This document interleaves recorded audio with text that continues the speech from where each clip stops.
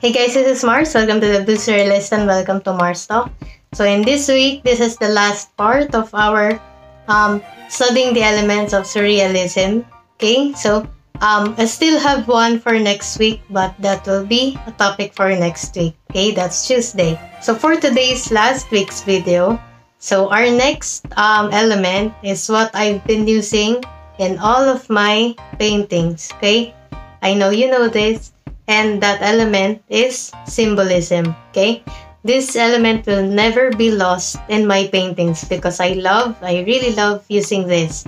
Okay, symbolism acts as something that symbolizes another thing or another um, another meaning. Okay, so sometimes it's difficult to actually decipher what it means, but other artists actually tell you what what it is about, but other artists don't. But in my case, I do tell you what it's about, okay? So that you can have more of an understanding about what my painting is about, okay?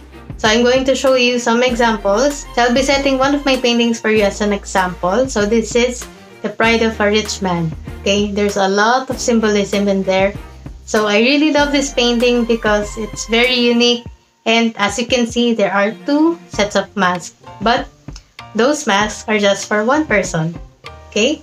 Because it's one seat, it's for one seat and there's just two hands. So that means that those masks are just for one person, okay? But why is it different? Because you wear something for someone and another mask for someone else. So that's what it means. And then those hands and those rings and those um, luxurious stuff that you see there shows power and that cage actually symbolizes you. And that you're the only one stopping yourself from being free.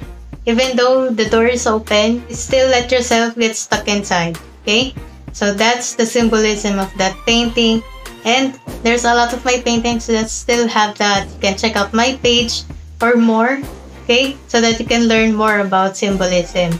So I hope you can practice doing this because it's very, very fun and you can actually touch a lot of people's lives by doing this.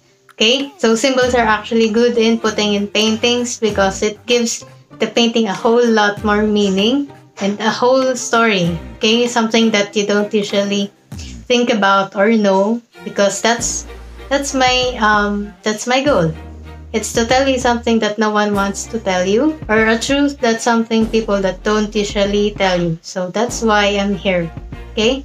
So I hope you like this video and happy weekend for all. So if you like this video, please like, comment, and share this video with your friends and family and subscribe to my channel, hit the notification bell, and be weird, stay weird, be yourself every day and I'll see you soon. Bye!